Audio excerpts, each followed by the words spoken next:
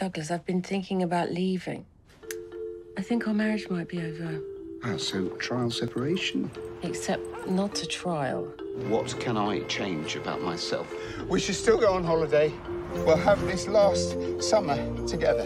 Three weeks, six countries, 12 cities. We're like, I don't know, you too. Sometimes you need to spend time together I want it to be the three of us. My friend? Hi. to see why you're falling apart. I'm trying to be more open. Well, can you close it down? Don't say it's not you, it's me. It's not me either, it's us. Us on BBC One and iPlayer.